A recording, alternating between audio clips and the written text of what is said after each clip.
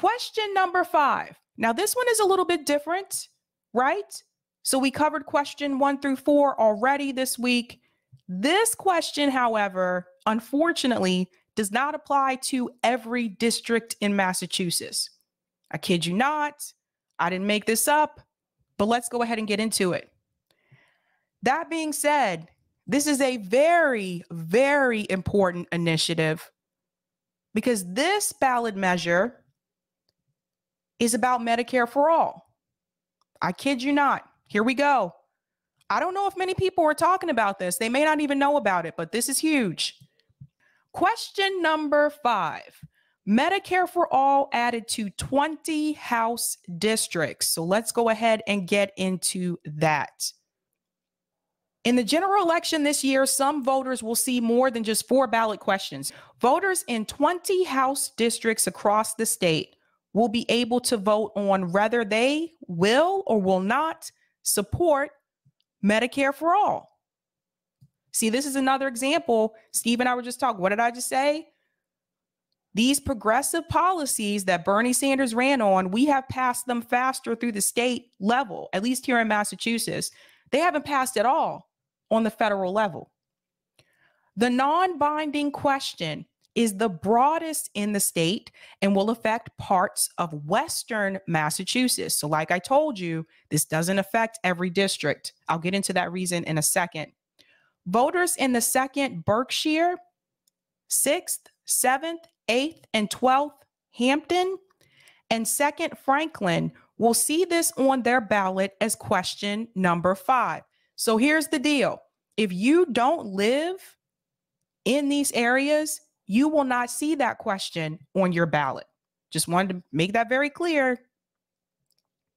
The question asks voters if they support single payer universal health care that provides the freedom to choose their own health care providers and eliminates the role of health insurance companies by creating an insurance trust fund that is publicly administered.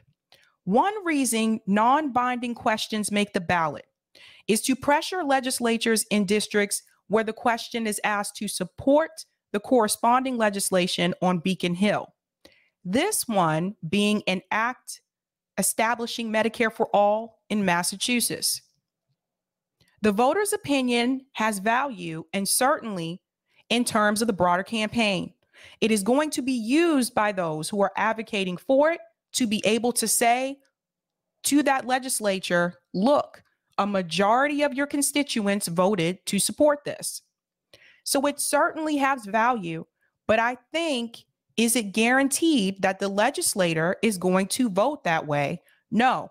And this is the catch. It's not necessarily guaranteed that they're going to vote that way. Mass Care, and I'm going to get into their site. The Massachusetts Campaign for Single Payer Health Care is behind the ballot initiative, and they had to collect 200 signatures in each House district to get the question on the ballot. This part is important as well. The question will also appear in parts of central and eastern Massachusetts, as well as the north and south shore. The 7th and 8th Hampden County will also be electing a new state representative. So I just want to show you what that looked like from Mass Care. So Mass Care is the organization that put this all together. Uh, I found out about them recently. I wish I knew that this was happening last year so I could have gotten involved and help uh, collect signatures as well. But I will also add uh, Mass Care will be here. They will be coming on not next week, but the following week. I tried to get them to come on before, but it's crazy hectic for them right now, if you can imagine, uh, with the midterms. But they will be here to discuss this. Now, on Mass Care's website, vote yes on question five. Mass Care and Act on Mass is on the ballot in 20 districts. So they even had a sign here where you can sign up to Canvass, you can sign up to Phone Bank, and I want to show you the areas where that it includes. I think it's easier for you to see it this way than the way that it was in, in that article. So for Western Mass, this is important so you can see who the representatives are. So we have the Berkshires, Belchertown. Don't laugh. Yes, there actually is a Belchertown here. Belchertown, Ludlow, Pelham, right? So that's 7th Hampden, Chicopee and Springfield, 6th Hampden, 8th and 12th Hampden, Greenfield, Athol, Athol, Athol. I don't know. I've never heard of that town. Orange, okay, that's second. Franklin. If we go down central Massachusetts, we're looking at Acton, Carlisle, Chelmsford, Concord. Concord will probably vote no. See, eh, you know what? I can already pick out the ones that I think are going to vote no because most of the wealthy towns are probably going to vote against. Concord and Acton are probably going to vote against it. I could be wrong, but we'll see. Berlin, Boylston, Clinton, Lancaster, Sterling, Northborough, Framingham, Marlborough. And then for Eastern Massachusetts, Arlington, and Cambridge, that should be interesting because it's a lot of college students in Cambridge that don't actually live here as a resident per se. Boston, Dorchester, Mattapan, Jamaica Plain, and Milton. So these are the districts. Again, keep in mind, like when I say Boston, that doesn't mean all of Boston. It's just the districts that are listed here. So that's important for people to see. Malden, Medford, and Somerville. Again, these districts here, if you note your representatives. And on the North Shore, Newburyport, that's the only one, see, for the North Shore. And then for the South Shore, we're looking at Holbrook, Quincy, Weymouth, Hingham, Hull, and Cohasset. So those are the areas. Eric, if you can put the link to this page in the chat, just in case people want to look at this again on their own. But um, we'll see how this how this works out in Massachusetts. Like I said, like this is kind of they're kind of testing the waters here to see how many people in these districts are going to vote that way, and if the representatives are going to go ahead and vote yes, basically.